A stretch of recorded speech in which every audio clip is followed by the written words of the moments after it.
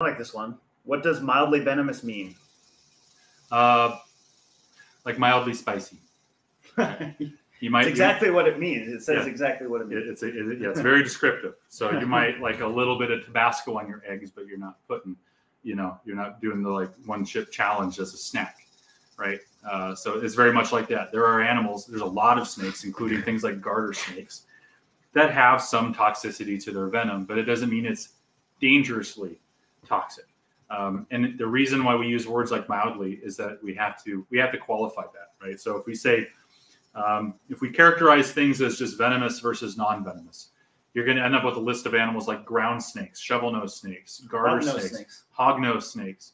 Um, popular with that. yeah, things that things that you know, like venomous because people equate venomous to danger in the hospital when most of those things either aren't going to bite you, aren't going to hurt you if they did bite you, or it's such a non-issue uh, that it's not worth mentioning. It's more of just uh, from a human perspective, trivia answer.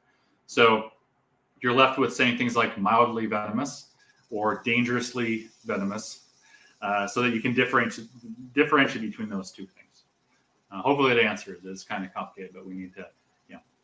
a lot of snakes are venomous. Well, there's venomous lizards that um, that aren't even Gila monsters that, that comes up too. All the monitors they have some